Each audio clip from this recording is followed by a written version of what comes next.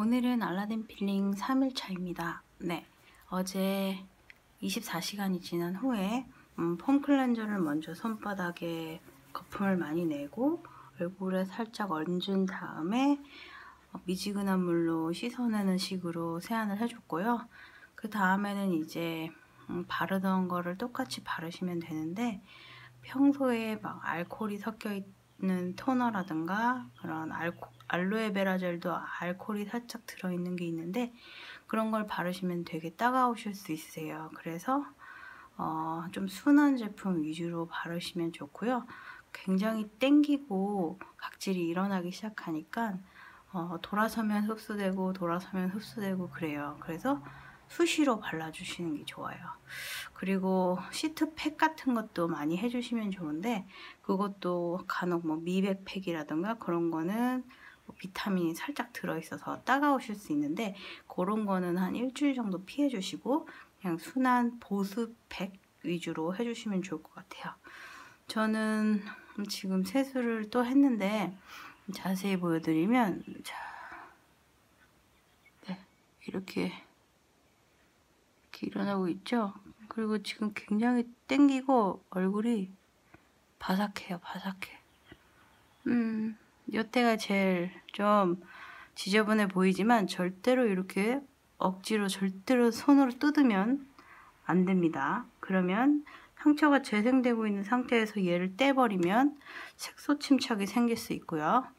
상처가 더 날 수 있기 때문에 이건 절대 그냥 두셔야 되세요. 그래서 저는 뭘 바를 거냐면 일단 EGF 성장인자와 캐비어가 들어있는 재생 앰플을 먼저 바를 거예요. 이거는 전문가용이어서 살 수 있는 건 아니고요. 재생 앰플이 조, 모든 사람한테 다 좋을 것 같지만 음, 여드름이 많이 나시거나 좀 지성이신 분들은 요 재생 앰플은 살짝 피해 주셔야 되고요. 그 다음에 이제 요런 거는 좀 무난하게 받으실, 바르실 수 있으세요. 많이 알고 계신 디오드네리 제품 중에 히알루로닉 애시드예요.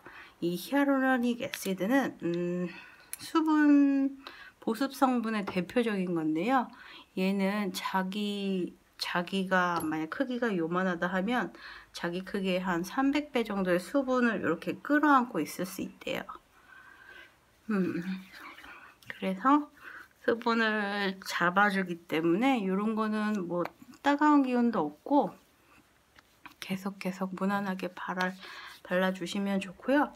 살짝 점도가 있어요. 점도가 살짝 있는데 예, 그래서 이렇게 찐득찐득한 이런 게 세균 침입으로부터 좀 막아주는 역할도 하거든요.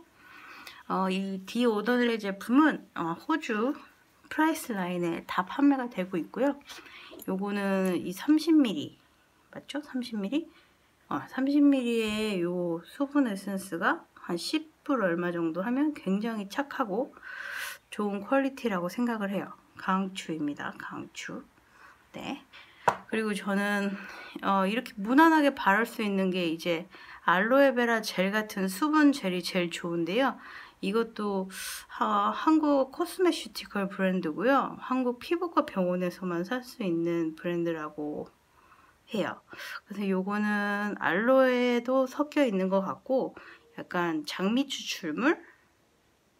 네, 장미 추출물이라 향도 살짝 장미향이 나고 색깔도 살짝 핑크예요. 저는 이거를 굉장히 처벌처벌 하는 편이에요.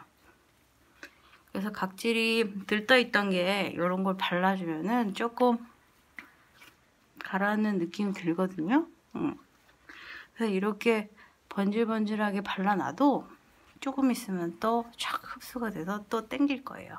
그때 또 바르고 또 바르고 계속 그렇게 하시면은 훨씬 더 각질도 빨리 재생이 돼서 벗겨져요. 그러시면 되고요. 음, 만약에 화장을 하셔야 되면 화장도 가능하세요. 그리고 외출 전에는 꼭 선크림 바르시는 거 잊지 마시고요. 음, 그리고 어, 이렇게 해서 한 5일 정도나 넉넉 7일 정도 후면 다 벗겨지게 될 거고요. 음, 조금 더 지켜보도록 할게요. 아 그리고 이렇게 계속 수분 공급을 해주시다가 주무시기 전에는 이제 수분 크림을 어, 조금 이제 충분히 딱 얹어놓고 주무시면 되는 거세요. 네. 음, 궁금하신 점 물어보시고요.